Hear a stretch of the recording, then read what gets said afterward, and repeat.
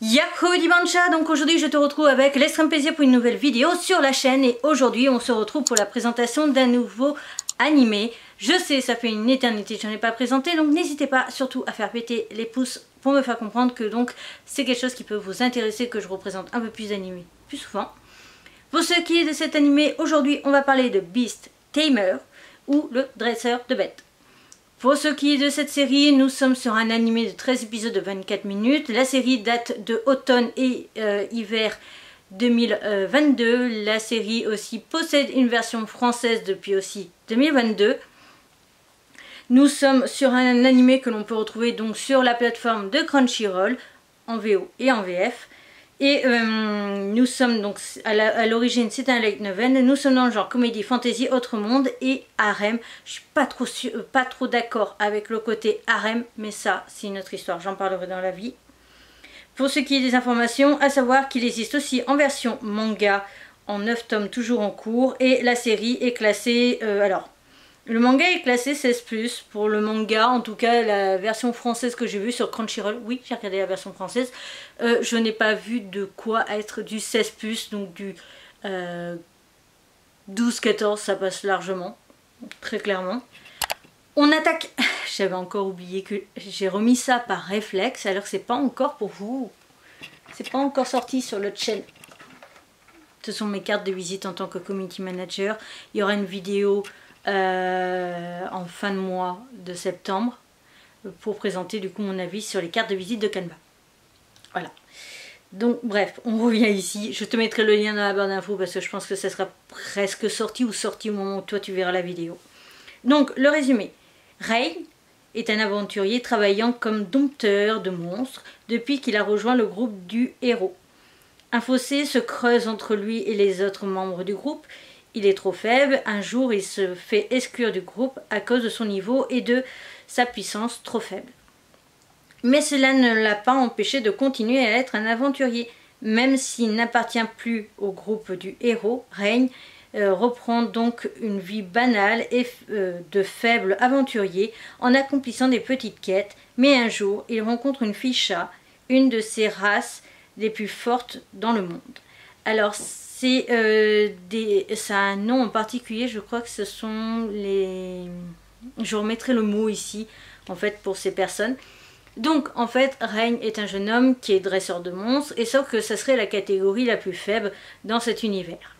Et il, était, il avait été sélectionné par le groupe du héros, mais euh, donc il servait principalement à dompter des bêtes, à euh, du coup demander à un animal de porter les bagages du héros et de son équipe, histoire de ne rien porter, un gros feignant, voire même d'être transporté et de se la couler douce du coup pour tout ce qui est transport et trimballage des affaires. Et c'est tout en fait, c'était pour ça qu'il avait pris.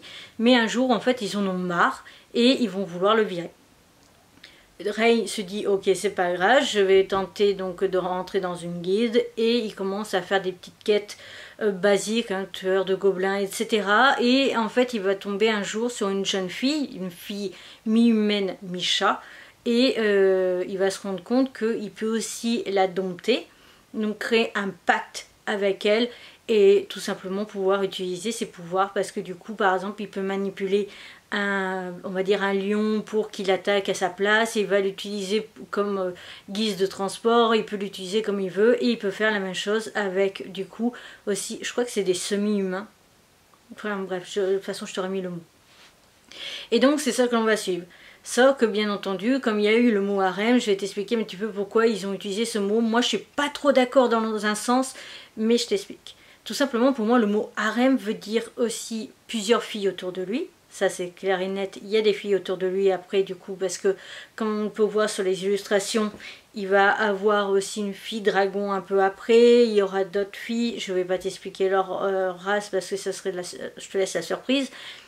Mais euh, pour moi le mot harem aussi sous-entend que le mec a potentiellement une chance romantique avec ou qu'il y a même potentiellement des scènes allusions charnelles ce qui n'est absolument pas présent, en tout cas pas dans la version euh, VO, enfin VF, pardon.